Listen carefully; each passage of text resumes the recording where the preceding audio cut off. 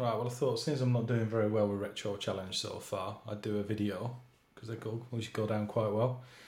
Uh, I've got a VT520 here and it's connected to a DECserver 90M, which I'll show you down here.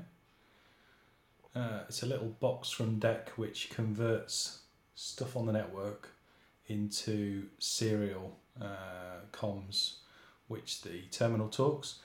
It's plugged in via a standard RJ45 Cat5 cable, which goes straight into the back of my router at home. And basically, it's it's it's very intelligent. It knows how to talk to the internet once it's configured. Um, so you can basically browse a sort of text-based web directly from this box without having anything else running, which is quite nice. Um, so we'll just get a connection to that. Connected up quite fast. The VT520 and the 90M support uh, 57k, uh, which makes for quite a nice experience compared to 9600.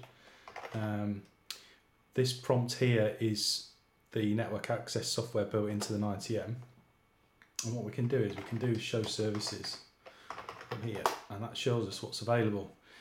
Now, I've got I have got another box running down in the basement, which is Johnny Billquist's bridge into HECnet, which is uh, a way of sharing DECnet across the internet.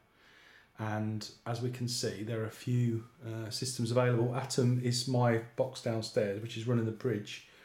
And basically, what it does is it just funnels DECnet across standard TCP/IP. And as it happens, MIM, which is Johnny's box, is a, a PDP-11, um, which I'm kind of getting into. Colin Butcher gave me a lot of books which included a lot of PDP-11 manuals. I have to say, it, so I found it really quite interesting. So if I connect to MIM, um, bit of a bizarre prompt, but and I just learnt this by trial and error that you know, I'm alright, type login, not log out. However, seems to be thinking that that's login anyway. So this uh, is a, an emulated box which I believe is configured up to look like a real box, a real machine, um, an 1145.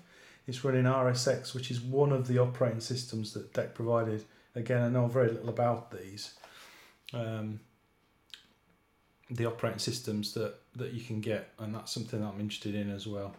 Um, so there's a list of who's on at the moment.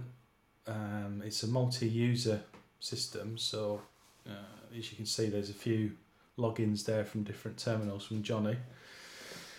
And uh, to be honest, it looks very much like what I'm used to, which is VMS. If you do help, you can um, you get a list of all the commands, including layered products. Uh, I can see COBOL, COBOL language, Fortran language, basic language. Um, it's uh, just a really nice system, just uh, as you'd expect. Currently, my terminal's set to unknown, so you get this backspace behavior where it just pretends to delete stuff but doesn't. If I do show term here, that you can see that it says term unknown, and I can set that term. If I can remember, model VT 100, say, and then when I delete, it actually honours the deletes. So the other nice thing this is demonstrating is the beautiful smooth scrolling. The VT520, if I hit the setup button, you can go in and you can say um, on the display menu various other things, but there's a scrolling mode here. Older terminals do slow, smooth sc scrolling, which is actually quite painful. Um, just in a directory now. But the fast, smooth scrolling is quite nice. Um, works quite well. It just means you can read what's going past as it's going past. Um, so you see it's much much faster. And there's uh, this is a guest account, so there's a lot of files on here. That's a macro 11 file. Um, there we go, something that Johnny's written. Loads of lovely uh, PDP-11 machine code, assembly language and uh, I think that's enough.